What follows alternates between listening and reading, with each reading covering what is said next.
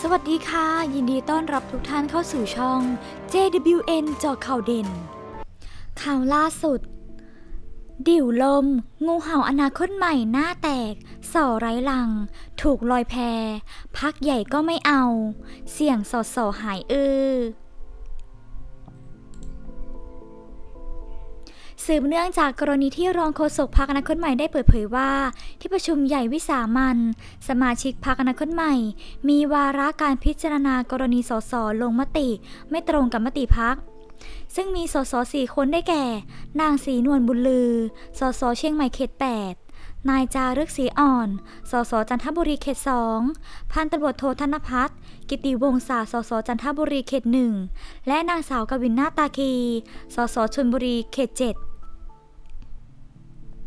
โดยที่ประชุมได้มีมติ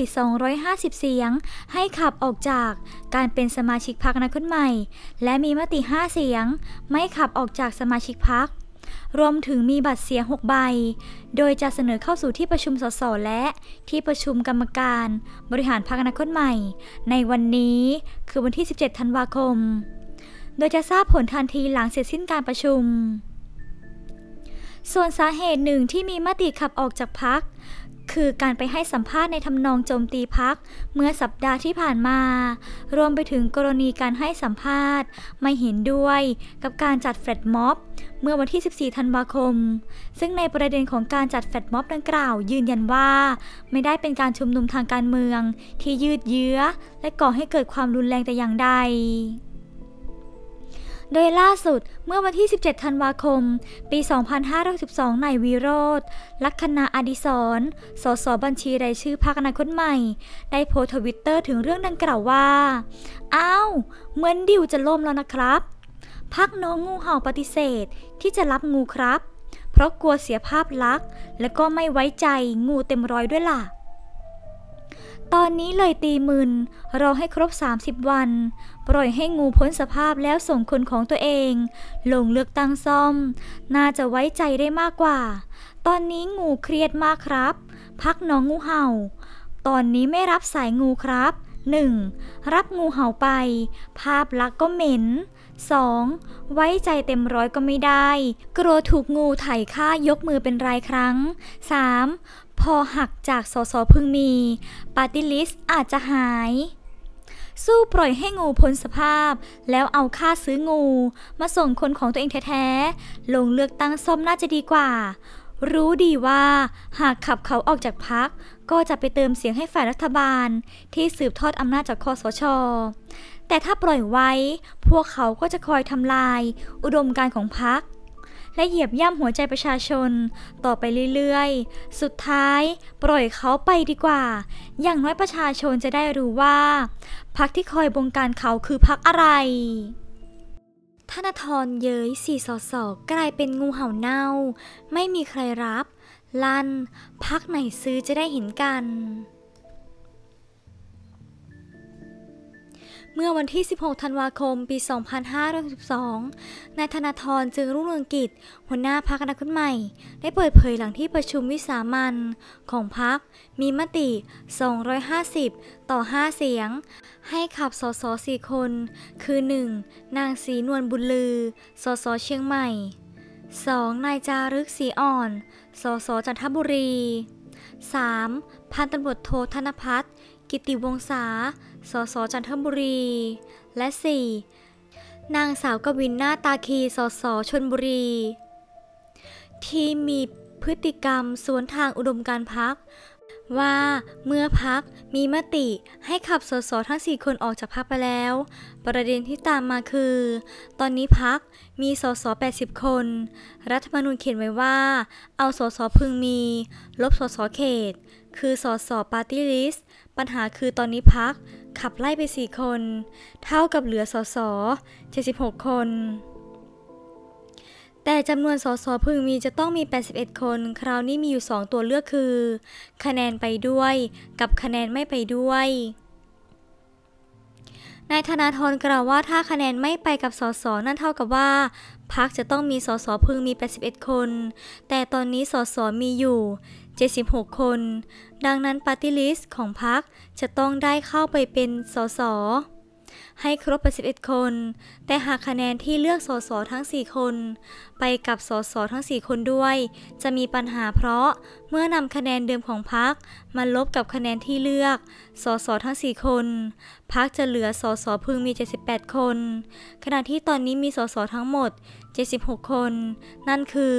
จะต้องขยับปฏิลิสเข้ามาอีก 2 คน ให้เท่ากับจำนวนสสพึงมี 78 คน นายธนาธรกล่าวอีกว่าปัญหาน่าจะอยู่ที่พักการเมือง ที่ไปรับ4สสคนนี้ไว้ จะทำให้สสของพักตนเองกระเด็นออกไปทันที เมื่อนำคะแนนมาคำนวณใหม่ แล้วเกินจำนวนสสพึงมีของแต่ละพักดังนั้นใครจะกล้ารับ และไม่แน่ว่าสสทั้ง 4 คนอาจจะหาพักไม่ได้ ผมก็อยากจะรู้ว่าพักจะรับสสสี่คนนี้ยังไง รับมาสสของพักตนเอง ต้องโดนเตะหล่น ซึ่งการที่เคียงงูเห่าทิ้งวันนี้ จะทำให้รู้ว่าพักไหนรับ พักไหนซื้อ เราจะได้เห็นกัน และเชื่อว่าพักที่ซื้อคงเป็นพักเล็ก คงไม่ใช่พักใหญ่ ไม่เช่นนั้นจะเสียชื่อเสียงพักเล็กที่มีสองคนหรือไม่กี่คน และเรื่องการคำนวณคะแนนใหม่ อีกทั้งหากสสสี่คนนี้ยังหาบ้านใหม่ไม่ได้ ภายใน 30 วัน หมดสภาพการเป็นสสกลายเป็นงูเห่าเน่า ผมเชื่อว่า ทางกกตคงไม่มีคำตอบ ในการคำนวณคะแนนเสียงให้ใหม่ ดังนั้นมันเป็นรัฐธรรมนูญที่บ้าจริง ๆ หัวหน้าพักอนาคตใหม่กล่าว สอสองงูเห่าอนาคตใหม่ ได้ยินถึงกับจุก หลังถูกขับพ้นอนาคตใหม่ รอคุยสามสอสอร่วมชะตากรรม ลัน ชิวชิวไม่ง้อ โบมีไหลพักทาบทามไว้แล้ว เมื่อวันที่ 16 ธันวาคม ปี 2562 นางสาวกวินนาตาคี สสชนบุรีพักอนาคตใหม่ ได้เปิดเผยภายหลังที่ประชุมใหญ่ มีมติให้ขับตัวเอง และเพื่อนสสที่ลงมติไม่ตรงกับแนวทางพัก รวม 4 คน ออกจากการเป็นสมาชิกพักว่า พิ่งทราบมติผ่านทางสื่อมวลชนตอนนี้ยังรู้สึกมึน กับมติที่ออกมา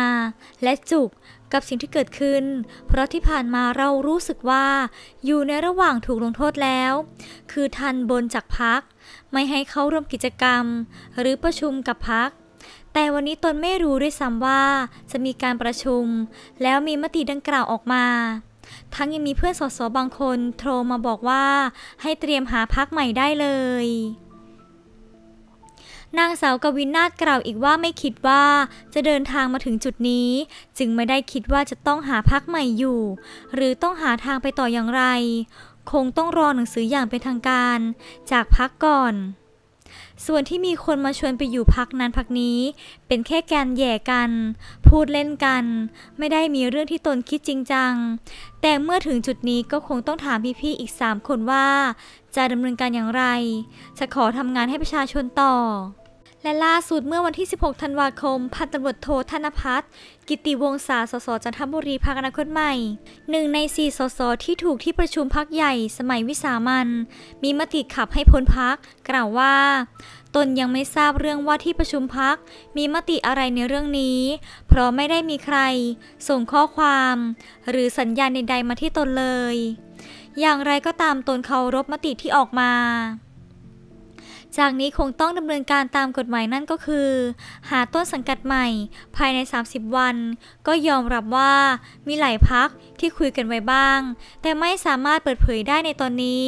และตนจะยังคงขอมุ่งมั่นทำงานการเมืองเพื่อพี่น้องประชาชนต่อไป เมื่อถามว่าพอพักมีมติอย่างนี้รู้สึกอย่างไรบ้าง พันตำรวจโทธนพัฒน์ได้บอกว่า รู้สึกเสียใจมากที่สุดในชีวิต ซึ่งตั้งแต่วันที่ตัดสินใจ ร่วมงานกับพรรคอนาคตใหม่ คิดว่าตัดสินใจถูกมาตลอด เพราะเชื่อว่าพรรคอนาคตใหม่ จะนำการเปลี่ยนแปลงมาสู่ประเทศไทย แต่ส่วนตัวเชื่อว่า การเปลี่ยนที่เกิดขึ้นนั้นจะเกิดอย่างค่อยเป็นค่อยไป จุดยืนบางเรื่องของพรรคผมก็ไม่เห็นด้วย ซึ่งเรื่องนี้อยากให้พรรคอนาคตใหม่ พิจารณาด้วย เชื่อว่า คงมีสสคนอื่นไม่สบายใจเหมือนกับผม เพียงแต่เขาไม่กล้าพูด แต่ตัวผมต้องพูดออกไป เพราะเรื่องบางเรื่องอาจจะขัด กับจุดยืนที่ผมเคยบอกไว้กับประชาชน หากผมไม่ทำตามก็จะผิดสัญญาที่ให้ไว้ เราเป็นนักการเมือง มาทำงานรับใช้พี่น้องประชาชน ไม่ใช่เพราะคนใดคนหนึ่ง ทั้งนี้อยากให้พักคิดถึงตรงนี้ไว้ด้วย เช่นเดียวกับที่สมาชิกคนอื่นที่อาจจะไม่เห็นด้วย ก็ขอให้กล้าแสดงออกมาบ้าง อย่าไปน้อมรับฟังอย่างเดียว เพราะความถูกต้องย่อมเป็นความถูกต้อง ไม่ว่าผลที่ออกมาจะเป็นอย่างไรพันตำรวจโทธนพัฒน์กล่าว ผู้สื่อข่าวรายงานว่ามติดังกล่าวยังไม่มีผลตามกฎหมายเนื่องจาก ยังไม่ผ่านมติของสส และกรรมการบริหารพัก ซึ่งจะมีการพิจารณาการในวันที่ 17 ธันวาคมนี้อีกครั้ง ขอขอบคุณข้อมูลเนื้อหาข่าวจากเว็บไซต์ข่าวสด แนวหน้า และมติชน ขอขอบคุณทุกท่านที่เข้ามารับชม สวัสดีค่ะ